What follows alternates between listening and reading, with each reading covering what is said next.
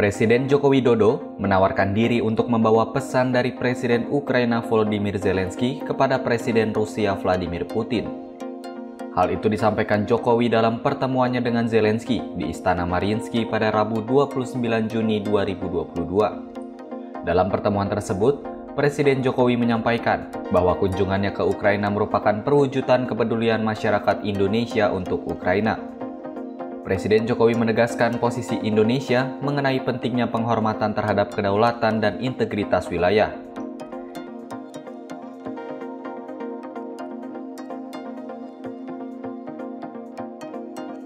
Dalam kesempatan itu, Jokowi juga menyampaikan undangan secara langsung kepada Zelensky untuk berpartisipasi dalam KTT G20 di Bali pada November tahun ini. Zelensky pun menyampaikan apresiasi dan ucapan terima kasih kepada Jokowi atas kunjungannya ke Ukraina.